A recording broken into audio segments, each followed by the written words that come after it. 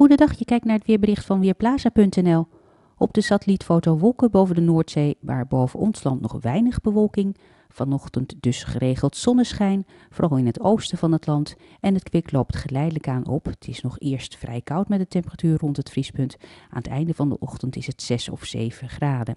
Vanmiddag wordt het 8 tot 9 graden. De wind neemt boven land toe tot matig, windkracht 4. Aan zee waait het vrij krachtig of krachtig windkracht 5 of 6 en geleidelijk aan raakt het ook vanavond bewolkt en gaat het in het westen regenen.